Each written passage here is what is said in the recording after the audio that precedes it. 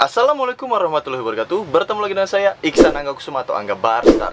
Jadi dalam video kali ini saya akan sedikit menjelaskan tentang dari mana sih asalnya lemak yang ada di dalam tubuh kita dan apa bahaya serta akibatnya jika terdapat lemak yang terlalu banyak di dalam tubuh kita.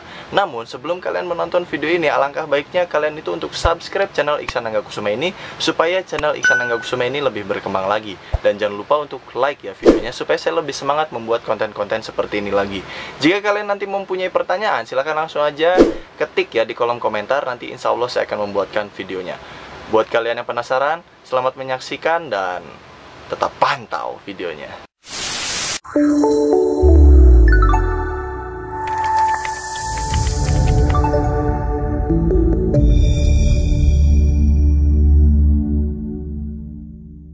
Dari mana asal lemak yang ada di dalam tubuh kita? Lemak dalam tubuh berasal dari makanan sehari-hari yang mengandung banyak lemak antara lain seperti daging, terutama daging kambing ya, atau keju, mentega, kuning telur, susu, coklat, dan lainnya. Setelah makan makanan tersebut, lemak diserap usus halus sebagai kilomikron.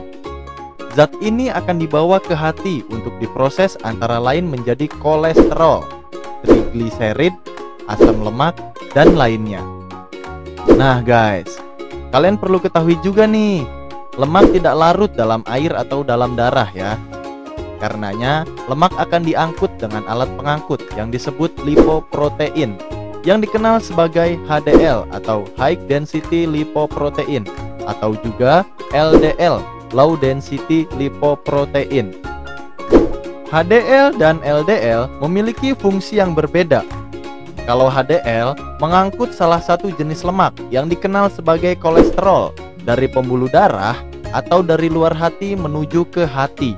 Sedangkan LDL mengangkut jenis lemak tersebut dari hati ke pembuluh darah. Tapi kalau LDR, derita lo itu mah. Nah, bahayanya kalau dalam pembuluh darah terlalu banyak lemak atau LDL, maka lemak tadi akan menempel di dinding pembuluh darah. Dan akibatnya, lama-kelamaan pembuluh darah yang harusnya lentur akan menjadi kaku. Akibat yang dapat terjadi jika lemak terlalu banyak di dalam pembuluh darah, tekanan darah akan meningkat dan sangat berbahaya kalau pembuluh darah yang mensuplai darah ke otot jantung atau ke otak terganggu, dapat menyebabkan gangguan fungsi jantung atau fungsi otak. Nah, oleh sebab itu, lebih baik kelebihan lemak itu harus kita cegah ya guys ya. Lalu apa akibatnya sih jika suplai darah ke organ penting tubuh berkurang? Nah, akibatnya fungsi organ akan terganggu atau sama sekali tidak berfungsi, seperti gangguan fungsi otak yang menyebabkan stroke pada jantung, terjadi kematian otot jantung infark. Penderita akan mengalami serangan jantung didahului sakit pada dada dan sesak nafas. Nah, kalau kalian ada ciri-ciri seperti ini, lebih baik hati-hati ya. Biasanya terjadi kepada orang-orang yang mengidap obesitas. Jadi buat kalian yang sudah mengalami gejala obesitas, alangkah baiknya untuk memulai rutin olahraga atau mengganti ke pola hidup yang lebih sehat. Nih, sekarang saya akan kasih tahu tipsnya. Gimana cara mengatasi dan mencegah agar lemak darah tidak tinggi.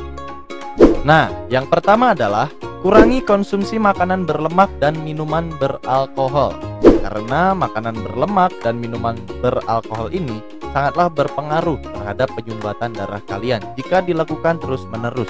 Kalau sesekali kayaknya sih boleh, tapi lebih bagus jangan ya. Lalu yang kedua adalah olahraga teratur.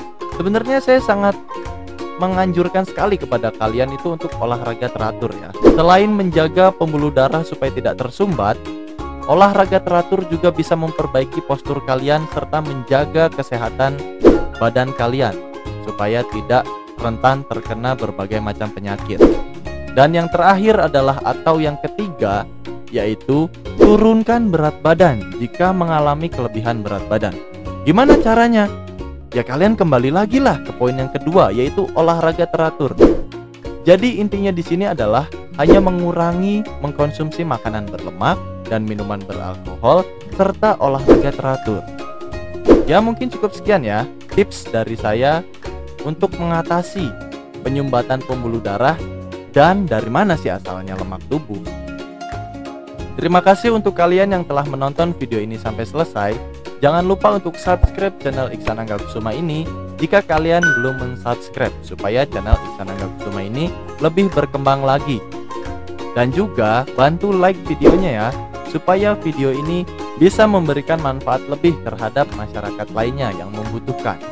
Dan jangan lupa untuk di-share ya supaya saudara-saudara ataupun teman kalian mengetahuinya. Oke teman-teman, jadi gimana nih videonya? Mudah-mudahan sih bermanfaat dan sangat informatif untuk kalian yang belum mengetahui tentang dari mana asalnya lemak dan bahayanya apa, akibatnya apa. Terus lemak itu berasal dari makanan yang apa aja sih yang kita makan ini.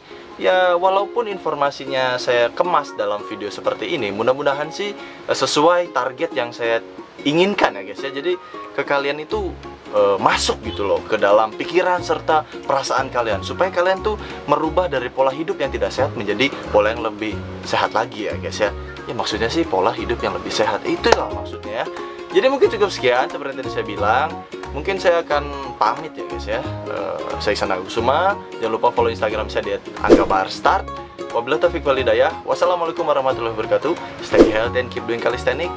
And Bye-bye.